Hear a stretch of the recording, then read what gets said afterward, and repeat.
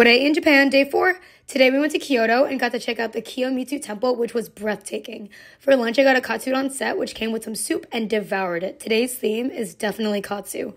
For dinner, we went to Gyukatsu Motomura, where you cook wagyu katsu over a hot stone. This was the best spot we went to on the entire trip. The meat was so delicious paired with rice. For a late night snack, I got a vanilla and strawberry soft serve, which was huge. That was such a great end to the night. I never want to leave. Bye.